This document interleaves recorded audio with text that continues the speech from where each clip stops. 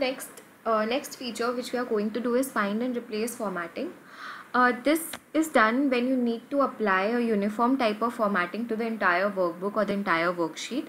Um, generally these are done when you uh, suppose you want to present your excel sheet to your manager and or maybe in a board meeting or maybe in a meeting or maybe you, you need to send your excel sheet to someone.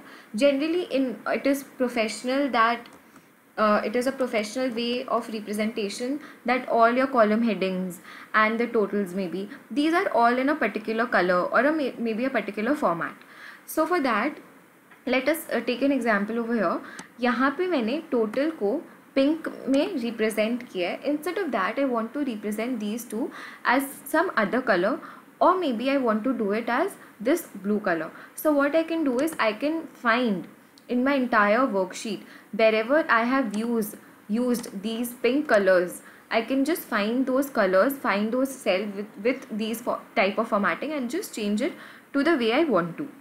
So again we'll press Ctrl H this dialog box opens up इसमें हम क्या करेंगे यहाँ पे एक है इसको हम हटा देते हैं फाइंड वॉट फॉर्मेट तो कौन से फॉर्मेट को हमें ढूंढना है? आई कैन सिंपली दो चीज़ कर सकते हो, या फिर आप, या तो आप यहाँ पे फॉर्मेटिंग पूरा सिलेक्ट कर सकते हो, जो हमने कलर्स यूज़ किया है।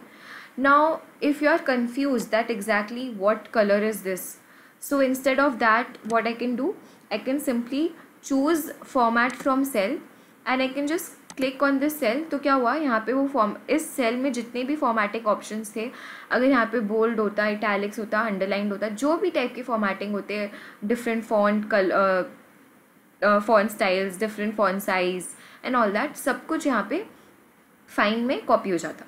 नेक्स्ट नेक्स्ट आपको किससे रिप्लेस करना है? Again you can do the do both the things. Either you can select it from the cell. Maybe मुझे ऐसा ही फॉर्मेटिंग चाहिए, ये वाला कलर चाहिए, ये ही पर्टिकुलर फॉन्ट चाहिए. So I can select this particular cell और I can custom format whichever way I want to so let's suppose मैंने ये कलर चेंज कर दिया, मैंने सेल्स में बॉर्डर डाल दिया एंड मैंने बॉर्डर के साइज़ को चेंज कर दिया maybe so I can change the colour of the border so all these things I can do font size मैंने चेंज कर दिया I can make it Arial so all these things which I have done okay and I'll just have to click on replace all and see what happens Excel has completed its search and has made one replacement now why Excel has made only one replacement ये वाला क्यों नहीं change हुआ because यहाँ पे इस particular find what में मैंने खाली ये वाला सेल सिलेक्ट किया था। I didn't select this cell या फिर मैं क्या कर सकती थी? Simply I could have just selected the colour which I had done over here which I had selected over here and okay click करके सिंपली मैं रिप्लेस और में क्लिक करती। So may be the colour is not matching but then yes I can do that also I can I'll just show you once more.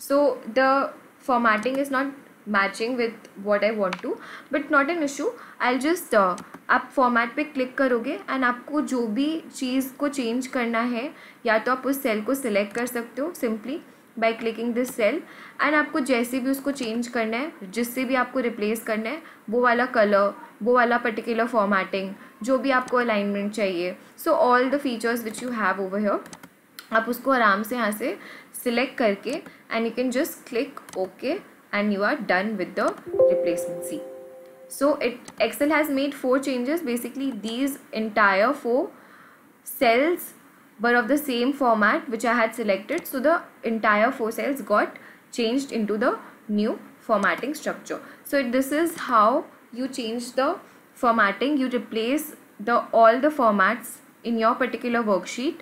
Maybe again you can do the same thing. Either you can match uh, the I can you can do it for the sheet or you can do it for the entire workbook. It depends on uh, what is the purpose of changing the formatting.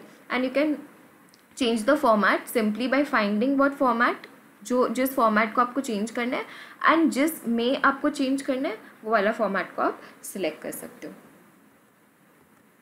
So this is it for this video.